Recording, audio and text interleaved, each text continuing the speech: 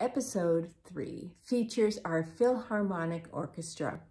They're going to be playing a very interesting piece called Artemis Rising.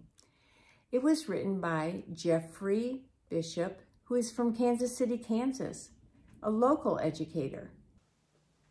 Hello, Olathe Youth Symphony Philharmonic members and their families. My name is Dr. Jeffrey Bishop and I wrote Artemis Rising. I just wanted to take a few seconds to say, hey, thank you so much for programming this work and making music in a virtual environment here this semester. I know it's been rough on all of us as musicians to do this, but I just wanted to let you know that I'm very appreciative of your efforts in putting this together, and I hope you have a great performance. Thank you so much. Join me in listening to this piece by Dr. Bishop as the Philharmonic Orchestra plays for us Artemis Rising thank you.